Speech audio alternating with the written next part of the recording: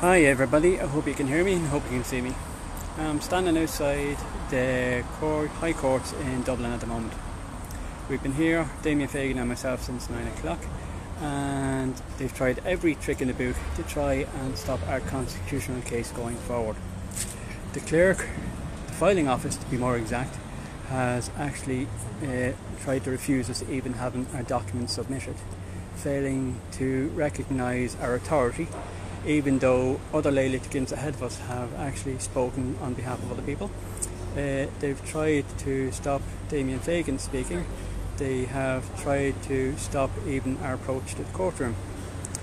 We went to another court, courtroom 2, and explained the circumstances, and the judge there ordered that our court case be heard in courtroom 6.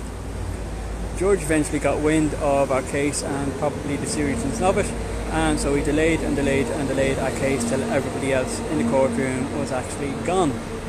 And then when he finally was, well, probably reluctantly for him, uh, had to raise our case, he then said that he wasn't recognising our authority to hold the case. Despite other lit- litigants ahead of us actually doing the same thing, he just decided, well, I'm not recognising you.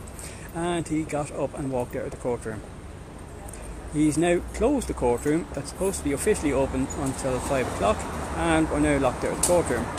Um, I've stepped outside for a few minutes to try and get a breath of fresh air, but we're going back into the courtroom now uh, and to the filing office to see what else can be done and try and hold someone accountable. The usher tried to throw us out, Gardaí had to be called, uh, and the situation is still ongoing, but we're not giving up.